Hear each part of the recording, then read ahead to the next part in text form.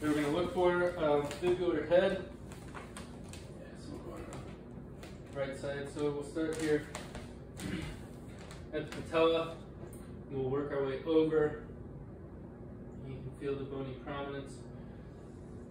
Just down, slightly inferior and lateral to the patella, the fibular head. Then we come down, work ourselves down um, to the ankle. If we come in, you can see there's two bumps, one on each side of the lateral malleolus. Over here, medial malleolus on the inside of the leg. And just below the lateral malleolus, we work ourselves down. This bone here at the back, that is our calcaneus. There's a calcaneal tuberosity right there, and that's where the Achilles tendon attaches to. Uh, on the top of the foot, right that ankle joint right here, if we pull the foot down, we can start to see it, the talus right there at the top. That's going to be the top bone in the foot.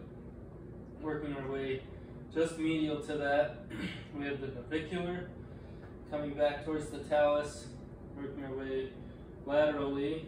We get to the cuboid bone and coming down distally, we get to our metatarsals and over here on the far lateral side, we have our fifth metatarsal um, and work our way. We have four, three, two, and over here we have our first metatarsal and that right there um, just posterior to the first metatarsal is where the uh, navicular is going to be and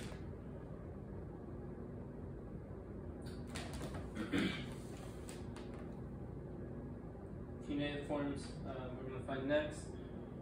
Now the cuneiforms are going to be in between the cuboid and the navicular. So if we come back over to the talus, we work our way laterally. We get to the cuboid bone. Now we can kind of draw a square here and save him from artwork. We find the cuneiforms. We've got the lateral, the intermediate, and the medial cuneiform, all in between the navicular and cuboid. And then we look at the base of the first and the fifth metatarsals. So we come here from the talus, work our way down, we find the navicular, the uh, cuboid, work our way distally to that. There's a bony prominence right here, the uh, process, and the base of the fifth metatarsal. If we come back up to the talus, work our way medially, we get to the navicular, come just distal to the navicular, you can find, I guess front over here, just distal to the navicular, you can find the base of the fifth metatarsal as well. So those are the bony landmarks of the foot and the fibula.